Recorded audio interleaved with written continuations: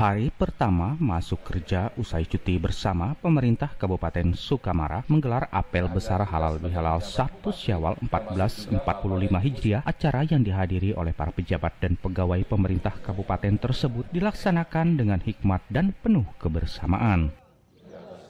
Pejabat Bupati Sukamara Haji Kaspinur yang memimpin langsung apel besar dan halal bihalal kali ini dalam sambutannya terlebih dulu mengucapkan selamat Hari Raya Idul Fitri kepada seluruh peserta yang hadir dan kepada seluruh masyarakat Kabupaten Sukamara yang merayakan serta mengajak semua pihak untuk menjaga kebersamaan dan memperkuat tali silaturahmi di tengah masyarakat. Selain itu menurutnya acara ini juga merupakan momentum untuk melaksanakan halal bihalal di mana para pejabat dan pegawai saling memaafkan memaafkan dan mempererat hubungan terhadap sesama. Uh, selesai dalam melaksanakan libur dan cuti nasional ya kurang lebih 10 hari ya dari tanggal 6 sampai dengan tanggal 15.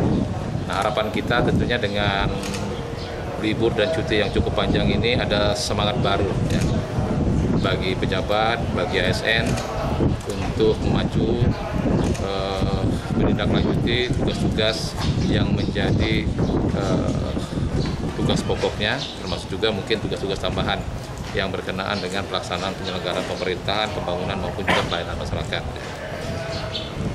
Nah tentunya semangat inilah yang yang harus kita pupuk, apalagi Sukamara sudah memiliki semboyan semangat gawi berenjam untuk bagaimana kita membangun kerjasama dengan baik.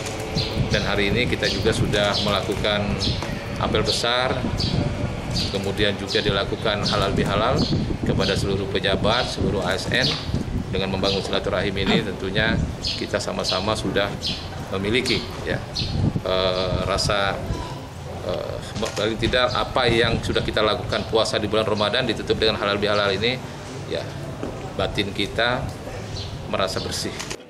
Diharapkan melalui kegiatan ini dapat meningkatkan rasa solidaritas dan kebersamaan di lingkungan pemerintah Kabupaten Sukamara serta mempererat hubungan antara sama pegawai dan pejabat pemerintah. Dari Kabupaten Sukamara, Jepri, tim SBTP mengabarkan.